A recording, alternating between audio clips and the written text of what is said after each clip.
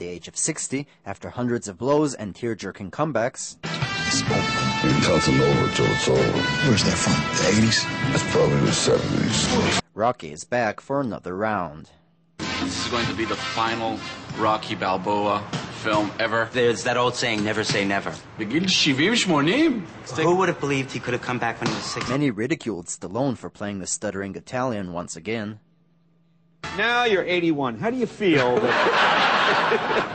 And have a dinosaur for a house pet. Box offices in the US said otherwise, and Balboa has already grossed almost $100 million. You never gotta forget this punch in the face.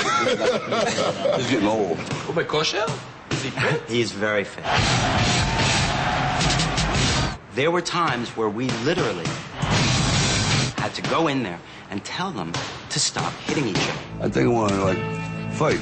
You know, nothing big, small stuff, like locally. What are you trying to prove, Pop?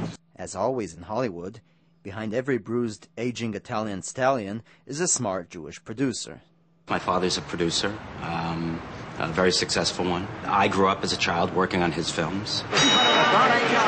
Bill Chartoff's father produced Raging Bull and the Rocky series. And today, his son, who is in Israel, is still in the ring and backing up the production of Rocky Balboa. First Rocky was such a phenomenon. When my father told me that he was thinking of doing a sequel, I just really begged him not to. You know, just let it be. It's so perfect. But I think today I'm quite happy that they did the sequel. I think there's still some stuff in the basement. What basement?